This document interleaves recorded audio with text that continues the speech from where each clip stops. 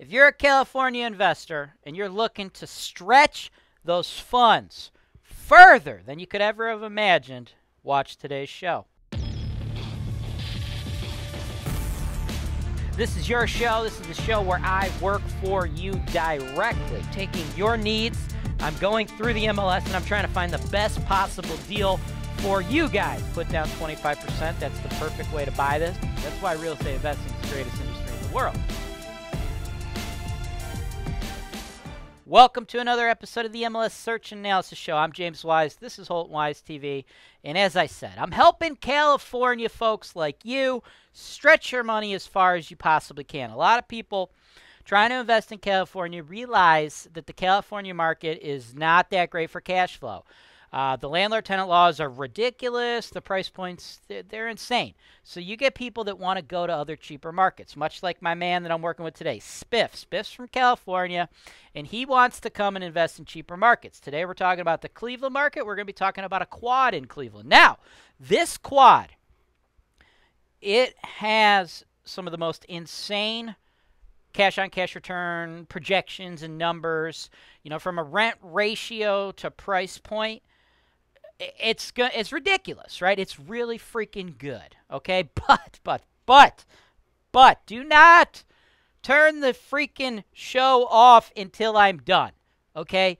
Because I talk about these numbers, but then I'm going to talk about the investment, both the good and the bad. I'm really going to take a deep dive into exactly what you're getting cuz you take somebody from California, a lot of times you guys look at these crazy price to rent ratios and crazy looking returns on projection sheets or this or that that other people are giving you, and, and you get blinded, right?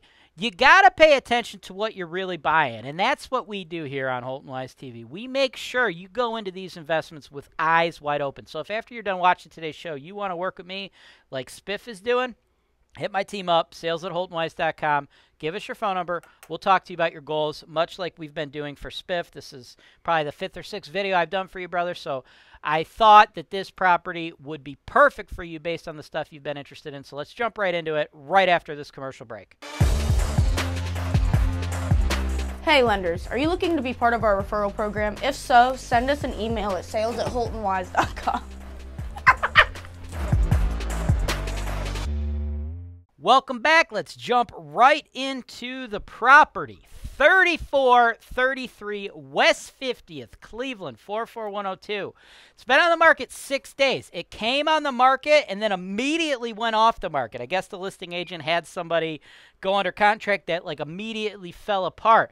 Now they have listed it at 115 grand, and that is a freaking gift, okay? It's not going to happen at 115K. I'll let you know, right? Because this is a quad, a fully occupied quad on the west side of Cleveland. So we're definitely going to need to spend more than 115. I think we're going to need to take this thing down at $125,000. If you buy it at $125,000, I believe you will make approximately $18,316 a year, right? You finance it, you put down 31 and a quarter, bank kicks in 93. Over the long haul, that could project to a 43.4% cash on cash return or a 15 cap because with these four units what we would be getting is four units at 750 apiece right? A total of $36,000 in income. Does that sound freaking amazing? Yeah of course it does. But that's not where this video is going to end, right? We're not just going to be like, oh, this is amazing. Bye, bye, bye. No, no, no. We got to break it down and like really understand those numbers, right? I see investors, they, they see those type of numbers and they just like, dude, they get blinders and they don't think about anything else, right? Let's talk about this in a more realistic fashion. Yes, all those numbers are achievable. Yes, that's all great. But you have to understand what you're getting with that, though, right? Here is the property. Now, as you can see, it is by no means the Ritz Carlton, right? Like, you know, you got the fucking door. Like, the listing agent goes there to take pictures of this, and the motherfucking door is, like, ripped off the fucking building, okay? So you have to understand that, right? It's clearly low income, right? We got, like, this is this this like right here was supposed to used to be a window. They just boarded the some bitch up, right? All right, this is definitely a low income investment. Okay, now with low income investments like this, you have to understand there is going to be risks, right? To the investment, right? Tenants don't always pay their rent on time, this or that, right? Now, the projections I just gave you, that is all four tenants at full market rent, the 750. I'm factoring in maintenance, repairs, non-payment, things of that nature. But I'm assuming that we're going to get them on section 8, right? Cuz this is currently as it sits a D grade neighborhood. However, it is my absolute favorite D grade neighborhood in the Cleveland market, right? I pull this up nice and big for you, okay? All right, this is the Clark Fulton neighborhood, folks, okay? Clark Fulton, bada bing. Here's the property.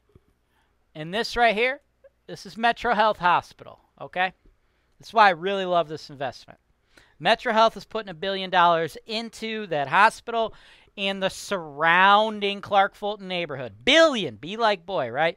They're doing low income housing, increasing their uh, their, their their infrastructure, their building, the whole thing. They're helping out the community, right? So, if I'm going to go with a low income area in Cleveland, this is the low income area I'm going to go with, right? Currently, right now, you put people in there on Section 8. Is there going to be riffraff? Yeah, a little bit it, it does this building when we get back to the inspection report? Does it appear that it's got a lot of deferred maintenance? Absolutely, right? Uh, but that said, when you get Section 8, you alleviate your biggest risk with D grade investments like this one, and that is tenants not paying rent. Okay? That's number one. Number two, Cleveland is not necessarily a market where people are looking at uh, going here to this market for appreciation. We're really just a cash flow market. Obviously, with the price points and the numbers, you know, the chart, the numbers are there for cash flow. But what about appreciation, right? Typically, we don't see a lot of appreciation in Cleveland. However, if I'm going to speculate on any type of neighborhood turning around, it's going to be Clark Fulton because of that billion dollar investment, number one. And then number two, if you just pan this off a little bit, right, go a little bit uh, further out, right? We are here, and what is here? Detroit Shoreway, Ohio City, Tremont, right? These are the areas that have gentrified, that have gone nicer. So we are bordering those. And of course, right north of that, we got downtown and then we got the lake, right? So we're bordering a lot of gentrified stuff. We're getting a billion dollars in there. And the numbers are so impressive that it makes sense to take on a little bit of that D grade risk. Now, as far as it's currently constructed, right? We're not getting the 3000 in rent just yet. We are getting four tenants all paying uh, it is four tenants all paying 550, right? So we're getting 2200 in rent, which if you run your numbers in the same way I run um, the projected numbers, it's still cash flowing from day one. Now those tenants uh, they want to stay, is what the listing agent is saying. Of course, they want to stay. They're getting a $200 discount on their house. But they're not all Section 8 tenants, right? So you have to understand that when you pick up an investment like this, you got to think about this one for the long haul. Is it possible that the first year or two of ownership of this will be a little rough? Possibly, yeah, right?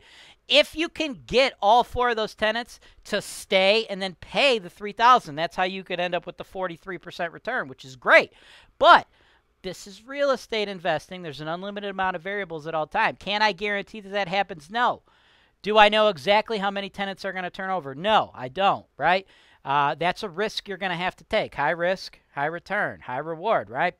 What i would recommend doing is going in keeping everybody's rent the same for one year and then going up slowly 50 bucks a pop right? You're still cash flowing now and you're not doing anything to create unnecessary artificial turnover. Because the goal should be to get them up to market rent slowly without creating additional turnovers because those additional turnovers are going to cost you money right? Do i know how much they're going to be? No. I don't have the information on what the units look like and more importantly even if i did it wouldn't matter because that's not necessarily what they're going to look like when the tenant actually moves out out.